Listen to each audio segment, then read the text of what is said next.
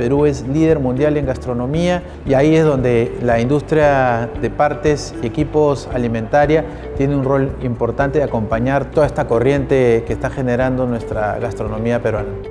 Buscamos nuevas tecnologías, nuevos avances, nuevas maquinarias, nuevos productos para desarrollo de industrias y Perú tiene para brindarnos eso. ¿no? Perú tiene unas fábricas inmensas y muy buenas de productos plásticos, de productos en aluminio, que nosotros queremos distribuir allí en Colombia. Potenciar un poco más la distribución de ciertas marcas y seguir trabajando con la calidad peruana.